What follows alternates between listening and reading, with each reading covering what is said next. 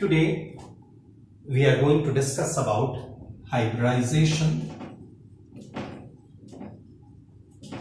shown by iodine and dif in different compounds or you can say different inorganic compounds. You know iodine atomic number is 53 its electronic configuration is 5s2 5p5 electronic configuration 5s and 5p in 5s two electrons are there. In 5p 1 2 3 4 and 5 electrons are there. There is only one unpaired electron. This is its ground state configuration. In this ground state, iodine show sp3 hybridization.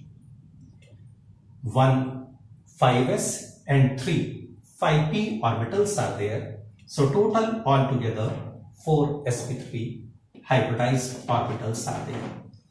Out of these 4 sp3 hybridized orbital, 3 sp3 hybridized orbitals. 1 2 and 3. 3 sp3 hybridized orbitals are non-bonding in nature and this one sp3 hybridized orbital is bonding in nature. Fluorine is having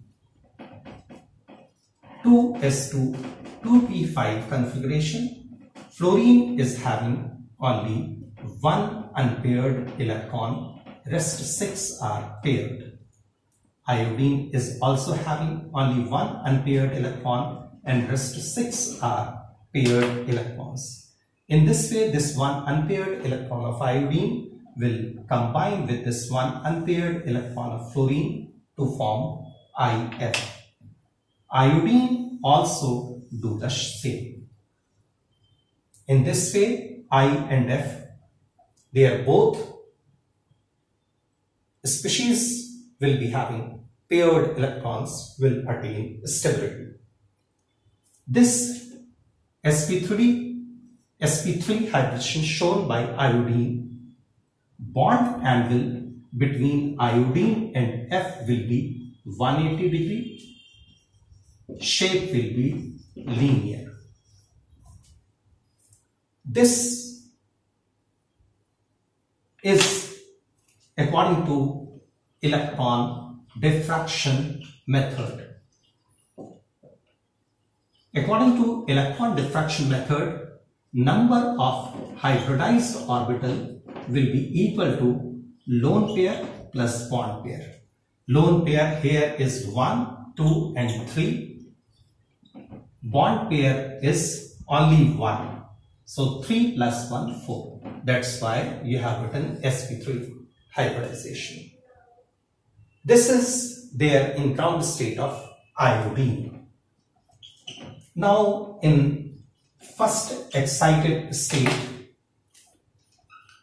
first excited state of iodine. This one electron will go to 5d. So 5s 5p and 5d. 1, 2, 3, 4, 5. 5s, 5p and 5d. 5s is having as usual 2 electrons. 5px is again having same 2. 5p now will be having 1 electron and this 1 electron will be shifted to d. And this 5pz is again. Here hybridization shown by iodine there in its first excited state will be sp3d. Here 1s and 3p and 1d is there. So total altogether 5 sp3d hybridized orbitals are there. Out of these 5 sp3d hybridized orbital 2 sp3 2 sp3d 1 and 2 2 sp3d hybridized orbitals are non-bonding in nature and this 1, 2 and 3 sp3d hybridized orbitals are bonding in nature. Here one iodine is having two lone pairs and rest 3 1 2 3 unpaired or bonding electrons in this way one iodine will combine with three fluorine atoms to form if3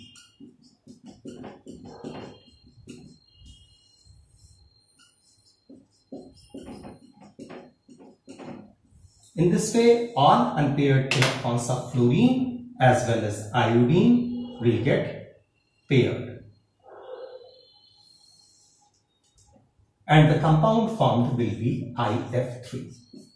Here, again, two methods to calculate hybridization is there. One is electron diffraction method and second is NMR technique. NMR is nuclear magnetic resonance. That's classical concept to calculate hybridization, while this electron diffraction is modern method to calculate about hybridization. Here in this electron diffraction, we will be considering lone pair as well as bond pair both. And according to this electron diffraction, bond pairs are 3 and lone pairs are 2. Lone pairs are 2 and bond pairs are 3, so total 5. 5 means sp3d hybridization. While according to NMR, you will only be considering bond pairs. And see how many bond pairs are there? 1, 2 and 3. So, bond pairs are 3 in number. So, hybridization shown by iodine in IF3 according to NMR will be sp2. Will be sp2. Now see, so since hybridization shown by iodine according to NMR in IF3 is sp2 so shape will be planar bond angle will be 120 degree. While according to this uh, electron diffraction method since it is high sp3d hybridization so shape will be trigonal bipyramidal bond angle will be 90 degree and 120 degree this is first excited state. Here we have written sp3d hybridization according to electron diffraction method and according to NMR method hybridization shown by iodine is sp2. This shape is instead of planar is T-shaped is T-shaped. So better to say T-shaped bond angle will be 120 degree and here it will be 90 degree and 120 degree.